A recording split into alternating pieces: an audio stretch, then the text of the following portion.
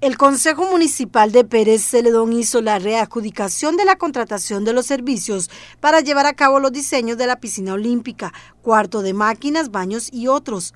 Eso tras un informe que presentó la Comisión de Licitaciones, tras el análisis del recurso de revocatoria que ya fue resuelto el 11 de octubre de 2022, donde se procedió nuevamente con la calificación de las tres ofertas presentadas. Para ello se dispondrán de 42 millones y medio de colones. Este ha sido un proyecto que ha tenido una serie de trabas para que se lleve a cabo. Desde el 2020 se anunció la hora y a la fecha no se ha podido concretar. Precisamente la Contraloría General de la República en ese año avaló 500 millones de colones para la construcción de este proyecto, que estaría ubicado en el distrito Daniel Flores y sería el único en la región.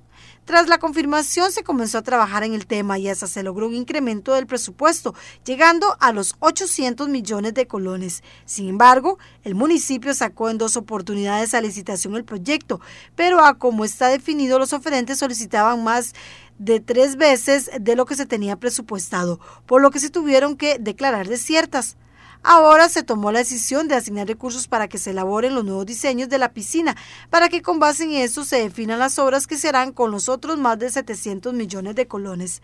El proyecto original incluía la piscina que tendría una extensión de 25 por 50 metros, áreas de vestidores de mujeres y hombres, graderías norte y sur, oficinas administrativas, al igual que de dopoje, enfermería, recepción y sala reuniones. Ahora habrá que esperar para definir qué obras se podrán realizar con los recursos que se tienen.